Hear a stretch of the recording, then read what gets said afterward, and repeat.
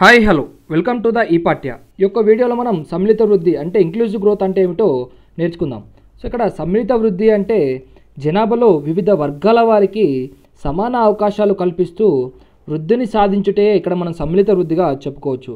అంటే ఇక్కడ సమాన అవకాశాల ద్వారా పెరిగే సంపద అనేటువంటిది ప్రజలందరికీ సమానంగా పంపిణీ కాబడుతుంది. సో ఎప్పుడైతే మనకు సమాన అవకాశాలు లభించలేనప్పుడు ధనిక అదేవిధంగా పేద మరియు అభివృద్ధి చెందిన మరియు వెనుకబడిన ప్రాంతాల మధ్య అసమానతలు అనేటువంటివి ఏర్పడడం జరుగుతుంది. సో తద్వారా ఇక్కడ ఒకే వర్గం వారు లబ్ధి అనేటువంటిది చేకూడడం జరుగుతుంది. సో ఎప్పుడైతే ఇక్కడ మనకు అసమానతలు ఏర్పడతాయో ఇక్కడ పేదరికం అనేటువంటిది పెరిగి ఇక్కడ కనీస అవసరాలు కూడా తీర్చుకోలేని స్థితి అనేటువంటిది ఏర్పడడం జరుగుతుంది. సో ఇక్కడ అదేవిధంగా మనము సమ్మిళిత వృద్ధి అంటే ఉపాధి అవకాశాలను మరిన్ని కల్పించి పేదరిక నిర్మూలనకు తోడ్పడమే సమ్మిళిత వృద్ధిగా చెప్పుకోవచ్చు. అదేవిధంగా అందరికీ సమాన అవకాశాలను అందజేసి విద్యా నైపుణ్యాలను మెరుగుపరచడం ద్వారా మనం ఇక్కడ సమ్మిళిత వృద్ధిని సాధించవచ్చు. అదేవిధంగా ఇక్కడ మనము సమ్మిళిత వృద్ధిలో గల అంశాలు చూసినట్లయితే పేదరికాన్ని తగ్గించుట అదేవిధంగా ఉపాధిని సృష్టించడం దాంతోపాటు ఇక్కడ వ్యవసాయ అభివృద్ధి పారిశ్రామిక అభివృద్ధి అదేవిధంగా సాంఘిక అభివృద్ధి ప్రాంతీయ అసమానతలను తగ్గించడం అదేవిధంగా పర్యావరణాన్ని పరిరక్షించడం అదేవిధంగా ఆదాయాన్ని సమానంగా పంపిణీ చేయడం యొక్క సమ్మిళిత వృద్ధిలో గల అంశాలుగా చెప్పుకోవచ్చు. అదేవిధంగా ఇక్కడ మనము భారతదేశంలో సమ్మిళిత వృద్ధి సాధించడానికి గల సవాలు చూసినట్లయితే భారత ప్రజాస్వామ్య రాజకీయాలు అదేవిధంగా సాంఘిక పరిమితులు. సో ఇక్కడ ప్రపంచ బిలీనీర్లలో భారతీయుల సంఖ్య అనేటువంటిది ఎక్కువగా ఉంది. దాంతోపాటు ఇక్కడ భారత వృద్ధి రేటు కూడా ప్రపంచంలోనే ఎక్కువగా నమోదవుతుంది.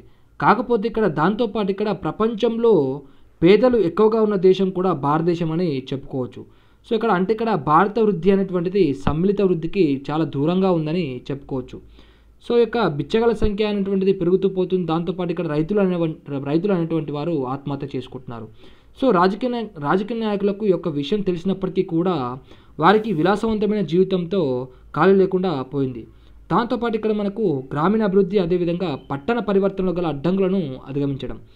దేశంలో ఆరు లక్షల కంటే ఆరు లక్షలకు పైగా ఇక గ్రామాలు అనేటువంటివి ఉన్నాయి. సో పట్టణాల కంటే గ్రామాల్లో పేదరిక శాతం అనేటువంటిది ఎక్కువగా ఉంది. సో ఇక్కడ గ్రామాల్లో ఆదాయ అర్జన అనేటువంటిది చాలా తక్కువగా ఉంది పట్టణాల్లో పట్టణాలతో కంపేర్ చేస్తే. సో ఇక్కడ గ్రామాల్లో సరైన ఉపాధి లేక ప్రచ్ఛన్న ప్రచ్ఛన్న నిరుద్యోగం అనేటువంటిది పెరిగి ఇక్కడ అల్ప ఆదాయంతో ఇక గ్రామంలో ఉన్న ప్రజలు ప్రజలు జీవిస్తున్నారు. అదేవిధంగా అవినీతి. సో ఇక్కడ రోజువారీ కార్యకలాపాల్లో పై స్థాయి నుండి కింది స్థాయి వరకు అవినీతి అనేటువంటిది కనిపిస్తుంది. సో ఇక్కడ సమ్మిళిత వృద్ధి సాధించడానికి అవినీతి అనేది ఒక ఖచ్చితంగా ఒక అడ్డంకిగా చెప్పుకోవచ్చు. సో ఈ యొక్క అవినీతిని తగ్గించడానికి సమాచార హక్కు చట్టాన్ని తీసుకొచ్చినప్పటికీ కూడా ఇది సరిగా అమలు కాలేకపోతుందని చెప్పుకోవచ్చు. అదేవిధంగా సామాజిక కారణాలు. సో ముఖ్యంగా ఇక్కడ విద్య అదేవిధంగా ఆరోగ్యంలో వెనుకబడతనం. దాంతోపాటు ఇక్కడ బాల కార్మికులు కూడా పెరగడం.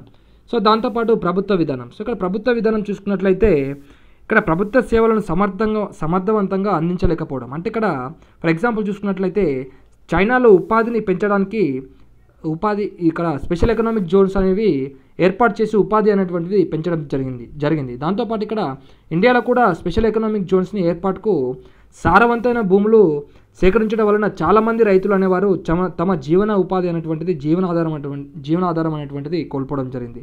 కాబట్టి ఎవరి వద్ద భూములు సేకరిస్తారో వారి పునరావాసానికి ప్రభుత్వం సరైన విధానాన్ని అమలుపరచుకోవాలి. Thank you